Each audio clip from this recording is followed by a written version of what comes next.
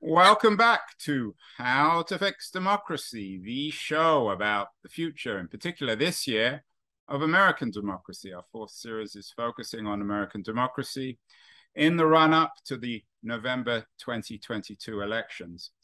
Uh, in one of our previous episodes, I had a very interesting conversation with Katherine Stewart. She's an authority on the radical religious right in America, and she talks about the way in which this movement seems to be infiltrating every dominant institution politically, particularly uh, in American life. And, and, and we spoke about the way in which the, the religious right in America is infiltrating the courts and the legal establishment. I want to focus on that today with my guest, Dahlia uh, Lithwick.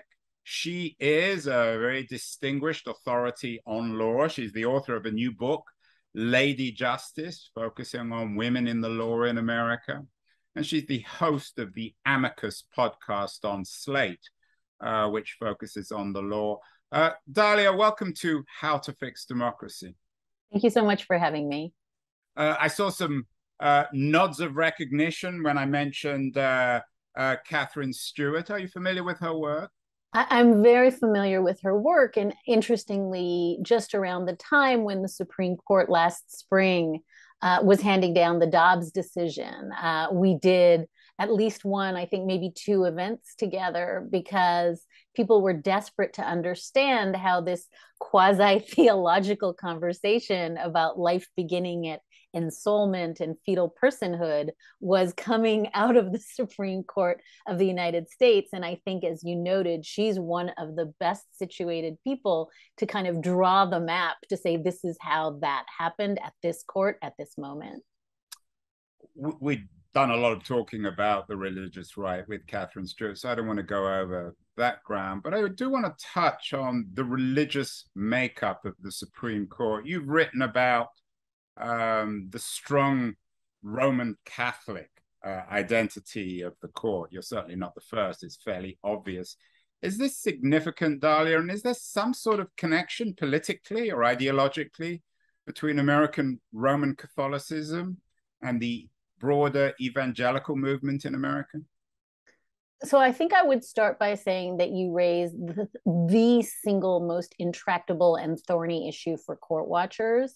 That historically there have been a lot of moments where people have observed, uh, maybe most famously Geoffrey Stone, uh, who at the time was the dean of Chicago Law School, who noted after a major abortion case came down, he sort of no- noted to his chagrin, I have to say this publicly, all five people in the majority were Catholics. I'm going to write this.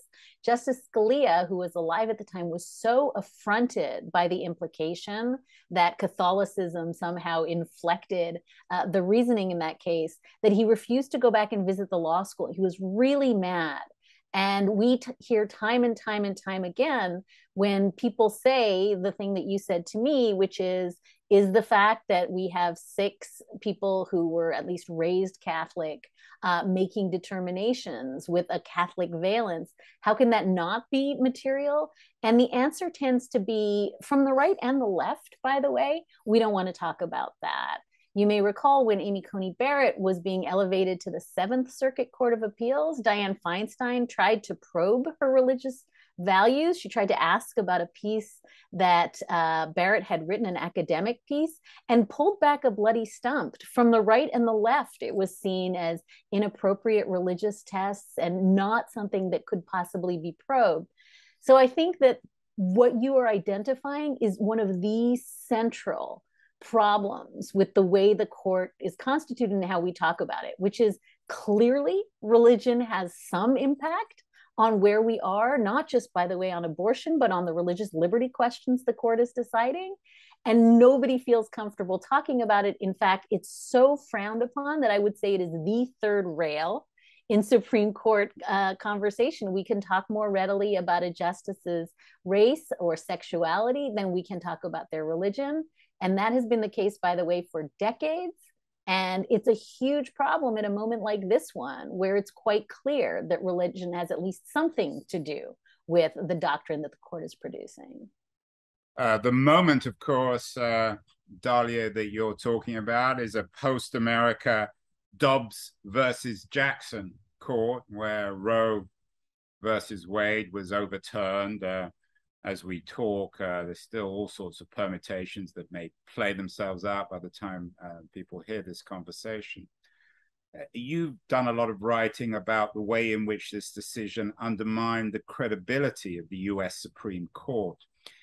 Does that reflect a weakness, a crisis in American democracy, or does the makeup of the Supreme Court reflect that crisis? Or are they so hard to separate that you put those two things together and they speak of a, a, a significant problem with the future of American democracy? I think that the simple answer is that, of course, the makeup of the court is the court. Uh, that the fact that the court, as it is currently constituted, uh, is not reflective of not just that it's misaligned with polling. The justices would tell you, we don't care about the polls. We were designed, right? We are protected. We have life appointments. We are protected from term renewals exactly because we don't care about the polls. That's how we got Brown versus Board of Education. So the justices would tell you it doesn't matter that the public opinion around the court has plummeted in the past two years. They might even say, and I think Justice Alito has been uh, apt to say versions of that means they're doing their job, right? They're completely blind to what the public wants. So I think the answer I would give you is the structural answer which is that the current Supreme Court has five of the six conservative justices were appointed by presidents who lost the popular vote and then uh, confirmed by Senate that is so wildly malapportioned that West Virginia has the same representation as California. So then you have, in effect, a minority rule president under the Electoral College, a minority rule Senate under the malapportioned Senate, seating Supreme Court justices who are then, and this is key, I think, to your question, working very hard in Citizens United to really, really warp democracy, working really hard in the Shelby County case to kill the Voting Rights Act, and then to do again the same thing in the Brnovich case.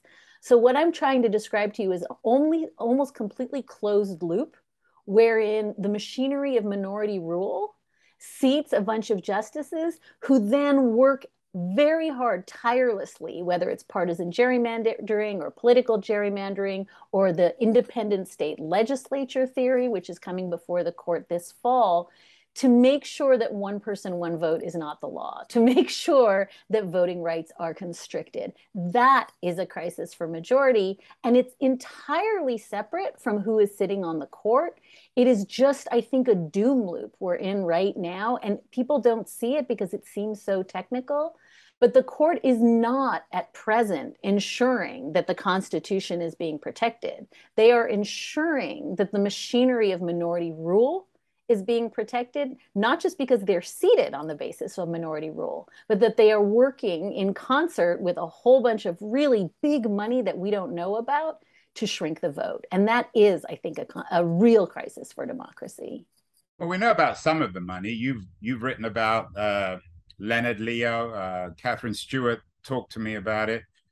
How much of all this, uh, uh, how much of all this, Dahlia, is a plot a conspiracy to take over the what the old what the Marxists used to call the commanding heights of the American uh, political establishment, the political architecture. Um, there, there, are no secrets. I mean, many people have, have written, some people even sympathetic to the right, that, that this latest assault, if that's the right word, or takeover of the court is the result of 20, 30, 40 years of planning.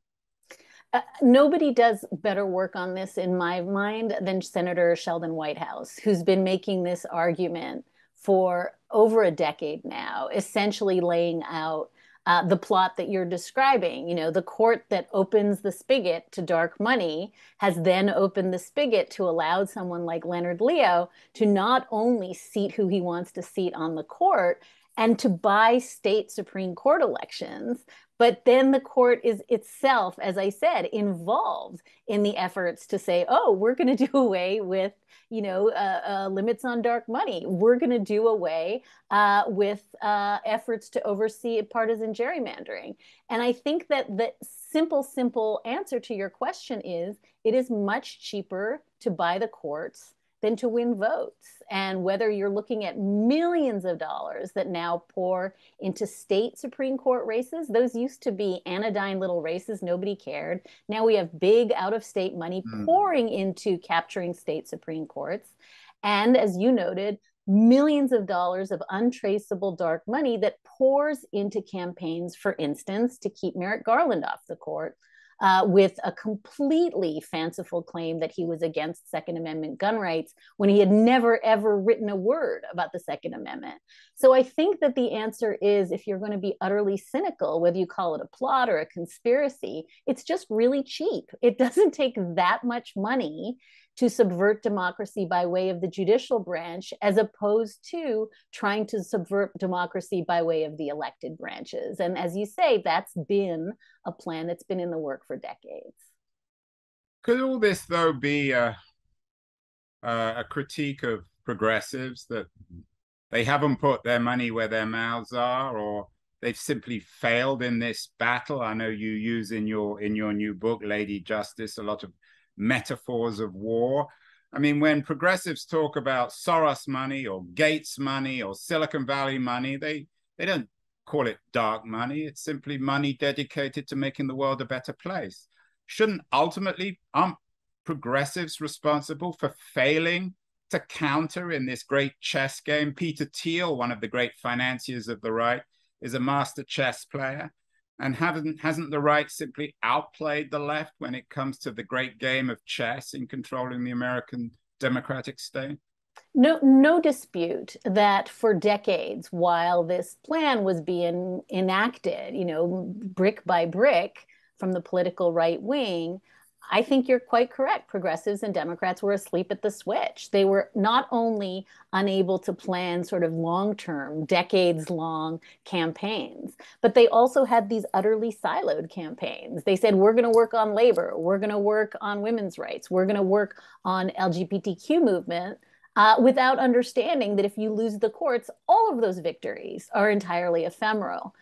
And you're also right. And I think Jane Mayer has done so much work on this in her books yeah. and in articles at the New Yorker to sort of say it's not super hard for the Koch brothers, for instance, the Mercers, other uh, uh, families that simply want to buy democracy and and shape it to their own will it's not hard to buy a think tank it's not hard to buy a chair uh, an endowed chair at a university. It's not hard to pour out studies that deny climate change. So, as you said, this was, I think, very much a foot race to the outcome we're at right now, where the court is, in some sense, utterly bought and sold. And it's a foot race in which conservatives had a 40 year, I would submit, head start. And so if the critique is Democrats are mad because they're bad at this or they were too late to the party, I think that critique is valid. I think the meta question you're asking is Is any of this good for democracy, whether the left is doing it or the right is doing it? And I would suggest that the reason that Citizens United decision in 2010, 2010 was one of the most hated across the boards bipartisan decisions in American Supreme Court history is because nobody thinks it's good for democracy for a handful of billionaires to control outcomes. And so I am 100% with you on both your, you know, sort of minor question and your major question. Yes, Democrats were very late to the party and now they are losing. And t- two, yes, it is horrible for democracy, whether you're a Soros or a Gates or a Mercer or a Koch, that a handful of people control outcomes at this level. That's simply bad there are ways to repair it. Eric Holder is somebody who's thinking about this really hard in his post attorney general career. But I do think that I'm not here to say Democrats should be better at buying the courts. I'm here to say the courts should not be for sale. I use the metaphor of chess. To what extent are Alito and Amy Coney Barrett and the other conservative justices, to what extent are they pawns in this game versus kings or queens? Do they know what they're playing? Do they even understand that they're participating in this great game of a, perhaps destroying American democracy? Or have they rewritten the story in their own mind and believe that they are somehow working on behalf of American democracy? It's such a, a, deep question. And I think, in one sense, it goes to your original framing, which was the legitimacy of the court itself.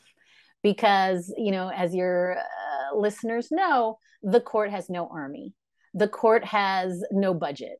If Congress decided to turn off the lights and stop the toilets in the court buildings tomorrow, the Congress could do that.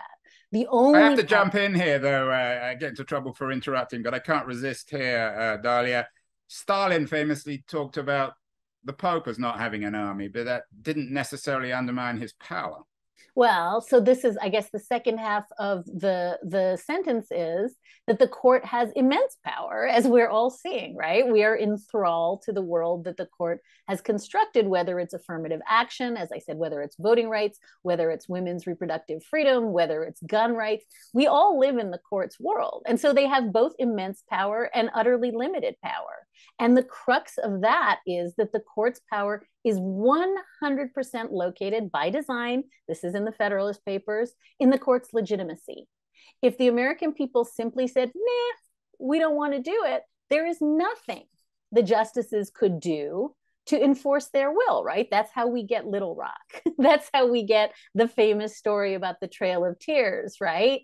Uh, or, uh, or, uh, or Black Lives Matter. Yeah, I mean, the court can only say what they say, and the American people agree. And Justice Stephen Breyer, who's just stepped down, wrote a, a, a, book. He's written several books making this claim that we don't understand how fragile that is.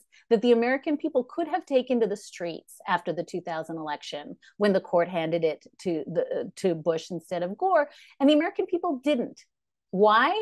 not because the court has power the way you're thinking of you know the, the, power but because of public legitimacy and so when the justices squander that, when they go from 70% popularity ratings to 30% popularity ratings, when the justices decide things as they've been doing on the shadow docket without explaining them, when the justices uh, issue opinions in which they more or less snicker into their sleeves and say, look, American women, if you don't like Dobbs, get out there and vote. At the same time, they're making it harder and harder and harder to vote the American public is going to respond at that soft spot, which is legitimacy. And that I think is the thing that I don't understand when you ask me, you know, what are the justices thinking? When you squander that legitimacy, when you fly to the McConnell Center, as Amy Coney Barrett did last year, and give a speech when you're practically sitting on his lap petting him, that's squandering legitimacy. When Clarence Thomas's wife is involved in the January 6th insurrection and he doesn't recuse himself from a case directly materially affecting that, that's squandering the court's legitimacy. And so I think just to your big, big question about what the justices are thinking, I do think that at present they must believe that they are returning us to a democracy as imagined by the framers in which women have no power and people of color have no power and wealth, wealthy white men and minority rule uh, you know is the, the the law of the land. And that's all good. But what i don't understand is how it is that they can do so without realizing that they are dealing a mortal wound to the legitimacy of the court. And i think as justice breyer has warned in his book that doesn't come back easily that's decades, decades of repair work to get that back. And so I guess they just don't care because it would be so very easy to not give partisan speeches the way Justice Alito did in Rome. It would be so very easy for Clarence Thomas to say, you know what? My wife is a material participant in the issue before the court. I will recuse. It would be so very easy, time and time again, to not press the, the, the accelerator as opposed to pumping the brakes. But what we've seen is an almost out of control court that has decided it's going to make change, big change fast because it can. And if the American public doesn't like it, oh well, too bad, so sad. And that part I cannot explain to you because I cannot fathom what they think they're doing. Some observers have suggested in the, that the court's attack on the right women to abortion, there's some sort of return to um, an attack on sexuality itself. We had um, on this show at the beginning of the year the great Canadian writer, you're also from Canada, Margaret Atwood, talking about Handmaid's Tale, her dystopian future, which doesn't seem that far off in America, of a place where sex or at least eroticism is banned. Um, how do you make sense of the Dobbs case in the context of, let's put it, American cultural democratic history? Is it a return to this attack on sexuality, perhaps on Black sexuality, since it's Black women who are going to be punished more than any others in this new post Roe versus Wade world? I think that's exactly right. And I think, in some sense, the word return is a misnomer because it has always been the case, particularly for Black women, that their sexuality is in doubt, is questioned, is criminalized, um, is used for economic purposes, right? The, I, I, would commend to folks the work of Professor Dorothy Roberts, who's written several phenomenal books on the topic. In some sense, I think the lesson of Dobbs is that for white women, they are having a return. And for many women of color and poor women, uh, it is exactly the status quo, which has always been the status quo, even when Roe v. Wade was the law. One of the most important conversations I had after Dobbs, after the, the oral argument in Dobbs, was with Professor Katherine Franke at Columbia University on my podcast, who reminded me that if you were a, a woman in Mississippi or Alabama or Tennessee, you never really had a right to terminate your pregnancy. It was always post Hyde Amendment, subject to the ability to raise funds, subject to the ability to travel, subject to the ability to have childcare. And so, what we saw in Dobbs was that, in some sense, a great leveling. Where now you can see across the country white women and black women and women of color, women, women on uh, Indian reservations, all uh, subject to the same constraints. And I do think it goes to your point, which is women's sexuality has been regulated by the state from time immemorial. It is no accident that Justice Alito, in his Dobbs opinion, cites people like Sir Matthew Hale, who wrote with approval of witch burnings, right? I mean, this goes back long before the fact. I don't know why I'm laughing because I should be crying, really. No, it, it's not funny, but I think it tells you where they locate some of these ideas. And so it, you are absolutely right that this goes to quintessential questions of bodily autonomy, of dignity, of freedom. There's phenomenal briefing in the Dobbs case about women's economic opportunity if they can't control their fertility. And none of it, none of it uh, mattered uh, to the majority. Maybe the last thing I will say, because I think this is so salient in this context, is that Justice Alito just kind of bats away, in the Dobbs opinion, this notion of substantive due process, that women have some right to bodily autonomy, to the management of their families and their children, which parenthetically is the claim that is being used now to do away with critical race theory in schools in Texas and Florida, right? That you have this uh, fundamental right to raise your family the way you would see fit. He says, oh, that, you know, the word abortion isn't in the Constitution, bodily autonomy isn't in the Constitution. But the reason that those ideas about family privacy and autonomy were built into the 13th and 14th Amendment was because after chattel slavery, when the 14th and 13th Amendment were drafted, it was understood by abolitionists that the only way to make sure that former slaves were free was to give them back control of their bodies, to say nobody can rape you, nobody can separate you from your spouse, nobody can take your children away as units of economic uh, uh, uh, boon to themselves. That's what the 13th and 14th Amendment tried to protect the notion that your body and your family and your children are inherent in anyone's notion of freedom. And so when Justice Alito just says, there's no such thing, What he's really saying is that what the framers of the 13th and 14th Amendment defined as quintessential freedom for former slaves, which is the ability to decide who your children are, who to have them with, how to raise them, none of that matters. And for someone who holds himself out as a historian, that's an astounding place to land. Your new book, Lady Justice, one of the the lady justices that you write about, Stacey Abrams, one of America's uh, foremost fighters for the right to vote, um, based, of course, in Georgia. Another very influential, famous Georgian is Carol Anderson, professor at Emory University. She's been on the show a couple of times. Georgia's an important place. We also did a show with um, with Andrea Young, uh, the head of the ACLU uh, in Georgia. Um, how do you connect, Dahlia, the fight to vote, which Stacey Abrams and Carol Anderson and Andrea Young are all focused on, and the broader issue of sexual freedom? It seems as if, and I don't want to discriminate here, but it seems as if Black women get this better than others. Maybe they've seen it up close. I, I love that question. One of my favorite moments in all my years of podcasting was having Carol Anderson, who, as you say, wrote, uh, you know, one person, no vote, which was, in a sense, a canary in the coal mine of what vote suppression was going to bring us to long before I think anyone else was focused on it. And one of the things Carol said to me about voting is exactly what I just uh, recited to you about women and abortion, which is if you thought that you could just drive up to a polling place and flash an ID and vote in 30 seconds, you were never a Black person voting in Georgia.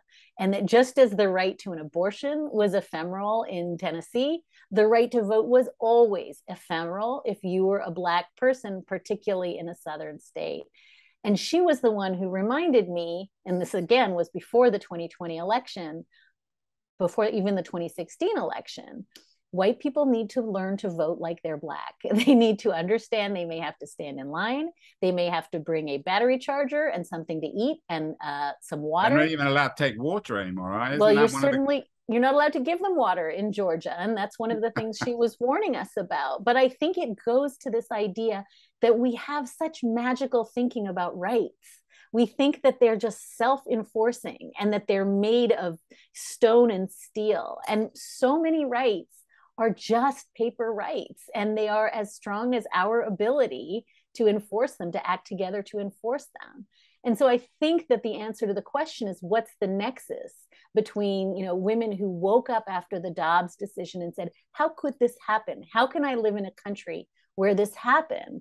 It all goes back to voting and it all goes back to that conversation we had about minority rule and so I think if women like Stacey Abrams and Carol Anderson and people like Nina Perales in my book, and I would submit so many women of color, AOC, who've been saying we all need to live as though democracy matters, as though the fight for democracy itself is existential, then that's who we have to be listening to right now. And let's not forget Sherrilyn Ifill, the former head of the NAACP mm. Legal Defense Fund, always reminds me every time that this has always been a fight if you were a person of color. Now we all see it and we get it. And so now we have to really double down and understand that, you know, Black women and women of color organizing in Georgia gave those two Senate seats to Joe Biden in 2020. They will do it again in the midterms, I hope. But we all have to look around and see that, again, just caring about the environment, just caring about labor, just caring about, you know, uh, trans athletes, every one of those things is essential. But there's no way to protect those things unless the right to vote is top of mind for all of us every day, all the time, now and forever. You use the word fight metaphorically, both in this conversation and in your book. But of course, there are many people, and we plan to have conversations on this show about it, who believe that America is on the brink, if not in civil war right now. Um, what, in your view, are the chances of all this turning violent? And what's the relationship between violence and the court, because of course the court is presented as the most civil of all civil organizations in America. But it sounds to me from what you're saying is that some of the Supreme Court justices, particularly perhaps Alito, are themselves uh, perpetrating at least the language of violence. I think that that's it's an astute comment. It is no accident that fencing, six foot fencing, has been up around the court building since the spring. It actually only just came down. It's no accident. That leak itself, unprecedented in American history, the leak of the Dobbs opinion in the spring, is an act of violence upon the court. And as we suggested, no accident that um, one of the justice's spouses was involved in at least helping organize what became a massive act of violence on January 6, 2021. Can I just jump in? You, you keep on talking about that as an act of violence. You also talked about civil disobedience in this conversation. Some people on the right might suggest that January 6th was in an American tradition of fighting an unjust state. How would you respond to that?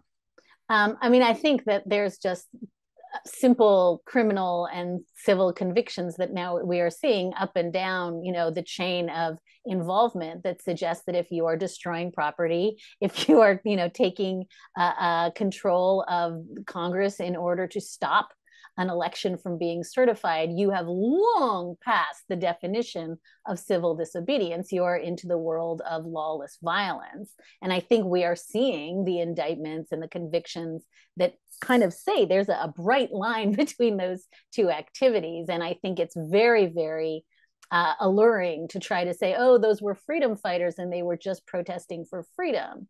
But when they're chanting, hang Mike Pence, and destroying the offices of members of Congress, I don't think that Mike Pence would say that was just lawful civil di- disobedience. But I will say, just on the larger question of violence, one of the things I've been writing about almost for a year, and it goes to your, your kind of questions about lawlessness and where we are, the most intriguing thing about SB 8, and that was the Texas abortion rule that predated Dobbs, that essentially nullified Roe v. Wade in the state of Texas and said, we don't care what the line of viability is. We're going to allow anybody to bring a civil suit in Texas and stop someone from having an abortion. And you may recall, just around this time last year, the Supreme Court signed off on that. And they did it, by the way, in an unsigned shadow docket order that did not tell us its reasoning.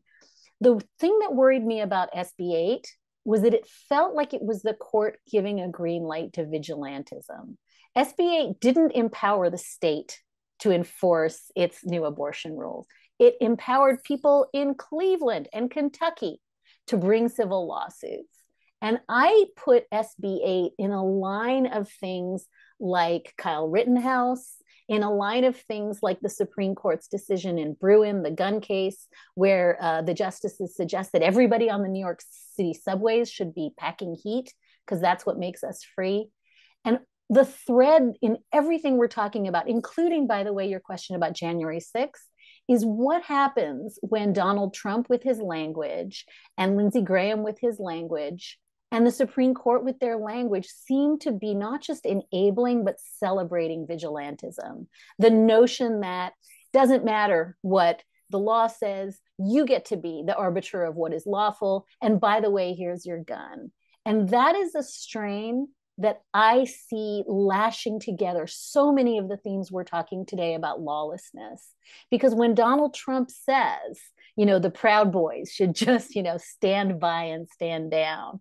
Or when Lindsey Graham says there will be, you know, civil war on the streets if an indictment comes for Donald Trump. Or if Ruby Freeman is being an election worker is being harassed in her home by people who have been products of what you know Juliette Kayyem and others called stochastic terror. The idea that you just say these words, put these violent ideas out there, and someone will act on them. I do think, and I'm sorry to say this in answer to your question, that the court is absolutely putting a thumb on the scale for the idea that if you don't like systems, you can take the law into your own hand. I think SB 8 was very emblematic of that. And I think the court landing on both Dobbs, as you say, and Bruen, the gun case, is a theme that continues to really worry me. Not just that you know people are talking about civil war and that there are profound disagreements. There have always been profound disagreements but that blessing lawlessness and vigilantism to me feels new. Could have almost been written by kafka or something Dahlia um, uh, a country descends into lawlessness enabled by a supreme court of law and I would add maybe one coda, and my colleague Mark Joseph Stern and I wrote this a few times at the end of the term. One of the ways that I see this materializing is in because you asked about whether the justices do this intentionally or whether this is inadvertent. In case after case, particularly around the COVID orders, particularly around, you know, school districts trying to make determinations about whether someone could lawfully pray at a football game the language dripping with contempt for licensing officials, for school attorneys, the dripping contempt for health scientists who are trying to make their best guesses about what's safe in a pandemic time and time again, whether it's Neil Gorsuch, whether it's Sam Alito, whether it's Brett Kavanaugh. You hear government lawyers government workers talked about with this contemptuous sort of i mean it's not just kafka it's like the office you know it's really a grim batting away of all these government bureaucrats as though they're part of either the deep state or they're just useless. And I watched it time and again directed at environmental officials, as I said, school officials, health officials that kind of language, the notion that the entire superstructure of government workers is in on some fix to take away your freedom that shouldn't be coming. I don't think it should be a part of political discourse at all. I understand that's where we are. But when it's coming from inside the house when it's justices themselves saying that the guy who's licensing whether or not you have a gun or the guy who's deciding whether or not public health measures are lawful is just some hack that's really bone chilling Kafka-esque turn that I'm not sure people clocked this year. Well, you talked about dark clouds earlier, Dahlia. You've created some of your own. Let's end uh, on some sort of note or potential for optimism. The show is called How to Fix Democracy. What are we supposed to do here, uh, Dahlia? Are we supposed to fund or get behind a Soros to fight the uh, you know, the the Leonard Leos of the world? Should we simply be turning out as Carol Anderson or or, or Stacey Abrams is suggesting in in November? W- what are the fixes here? I, am so glad you asked that because it is my producer of my podcast says I'm not just an Eeyore. She says I'm a broken Tigger. And she says those are the worst sorts of dark clouds because we really, you know, used to sort of bound through life uh, enjoying democracy. And now sort of spread some worry. And I am not here to spread worry. I would not be citing Sherrilyn Ifill and Carol Anderson, nor would you if I thought this was hopeless. But I do think there's two pieces of it. And one piece we're already seeing, which is post Dobbs, whether you're looking at the Kansas referendum, you know, women signing up to vote for un- unbelievable numbers for you know just midterm elections people registering people door knocking people really showing up skin in the game to vote and to have their voices been heard, be heard. And i think that is one through line here that we kind of let democracy go on screen save we figured it was sorting itself out and that realizing that every single person is going to have to pick up a paddle and row i think has has been a huge row, I guess being an interesting play on word, but yeah. it's been a huge ROW rather than ROE, mm, right? ROW. And I think that has been a huge lesson of this year. And then I think the second one, and this is gonna, I know people are gonna be like, la la la la, but it's democracy repair. It's fixing the Electoral Count Act. It's fixing the Electoral College. It is fixing the malapportioned Senate. It is adding seats to the court and stripping jurisdiction if need be and term limits for justice. So the big picture work of ensuring that, by the way, a system that was designed to promote minority rule by the framers that's that was the point that's why we had the electoral college that's why uh, we have a malapportioned senate all of that is fixable and good people are doing the work to fix it right now but it's not going to fix itself. And so I guess on both the meta and micro level, it is about every single person showing up and owning a piece of it. That means showing up for the midterms, yes, but it also means if you don't like the way the Senate is malapportioned, there are things that can be done, but we got to do them and not just hope that democracy just springs back. We have learned, I think, in the last six years, it doesn't spring back on its own. Well, there you have it. How to fix democracy. Go out and vote. Couldn't be said more clearly or convincingly. Um, uh, I want to thank uh, you, uh, Dahlia Litwack, uh, Lithwick, uh, the author of Lady Justice, um, great authority. I also recommend that people subscribe to your show, Amicus on Slate. Thank you so much for appearing on How to Fix Democracy. It's really a pleasure to be with you. Thank you for having me.